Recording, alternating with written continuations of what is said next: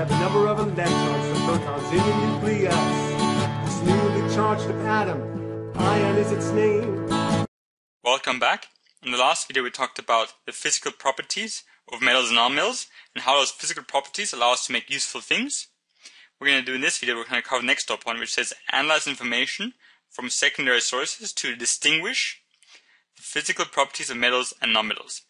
So what we have to do in this dot point is distinguish. Distinguish means we need to be able to tell the difference between metals and nonmetals in terms of physical properties. And if you look at these couple of pictures here, here we have metals. And before I start, I want to make sure you, for example, brass, if you try to find brass on the periodic table, you wouldn't be able to because brass is actually an alloy. And we're going to cover alloy a lot more in the second module. Alloys are a combination of metals. So brass is not just one metal, it's two metals, different ones. But these are all metals themselves. And what you can see here, if you compare the, let's say appearance, you know, the, the general properties of the metals to the ones here on your right hand side, you'd find that they look quite different. So these are, most of these are, are nonmetals.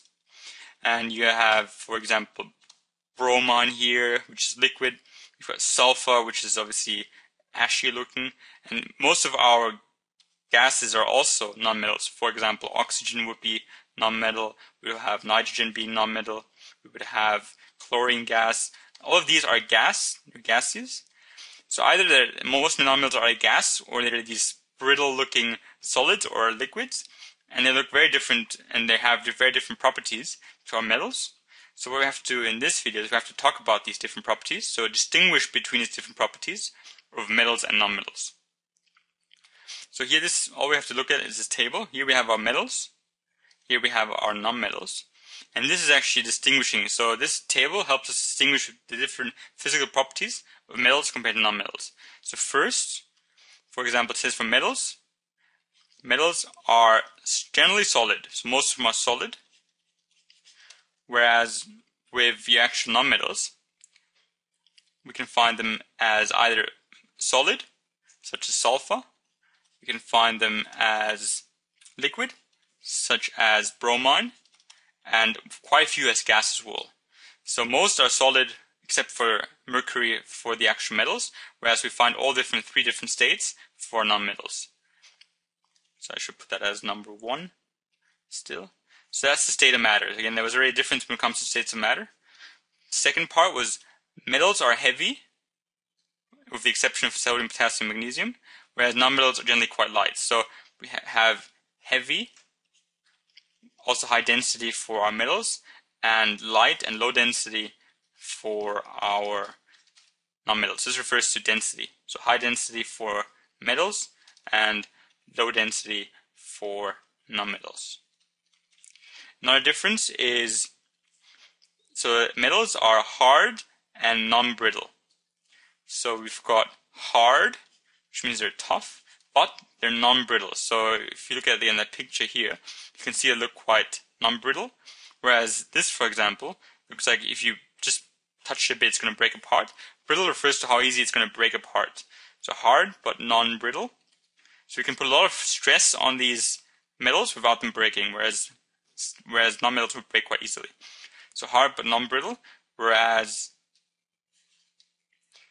solids, uh, sorry, they are, so most of these are weaker, except for some of the solids might be, they might be solid, but they're still weaker.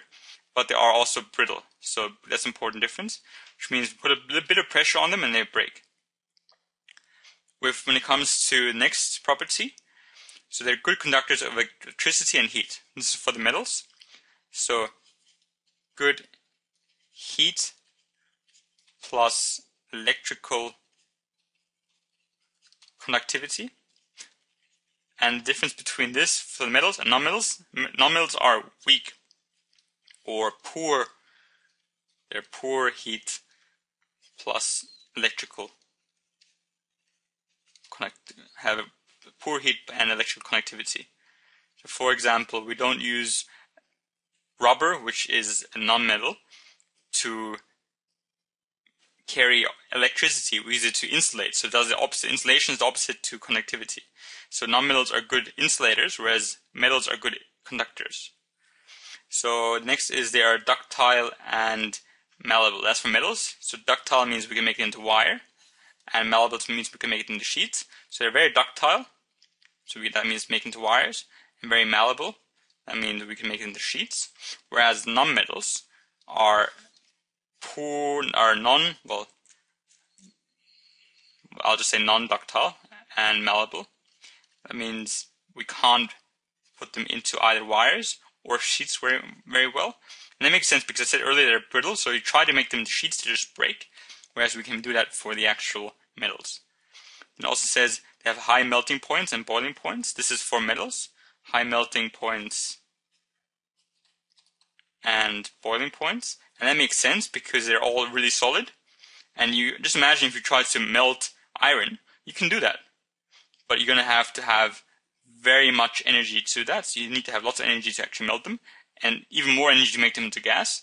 Whereas obviously when it comes to nonmetals, these have a lower, quite low melting point and boiling point.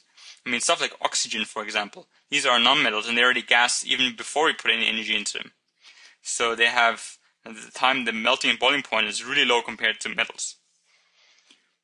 Now, they generally produce, okay, the next part is just random. They generally produce ringing sounds on collision, and they do not produce ringing sound on collision from non-metals. I mean, you won't have to remember this, it's not a really important one, but the other ones are quite. And then the last one is they generally are lustrous and can be polished. So they have that lustrous, shiny appearance for metals, and the non-shiny for your nonmetals. So these are your most important differences. And if you look at these differences again and you look at the actual parts, we said these are hard but non-brittle. So if you try to break these, it'd be quite hard, whereas your nonmetals are brittle, and that makes sense because they already come as powder. These are shiny, which you can see from the picture, whereas these are non-shiny. Your metals have a high boiling point and and melting point, which means you have to put lots of energy for melt to melt them. And again, most of many of your nonmetals are actually gas, so they have a very very low boiling point compared to your metals. We also said that they're malleable, so we can make them into sheets, which makes sense because they're non-brittle, whereas we can't do that for nonmetals.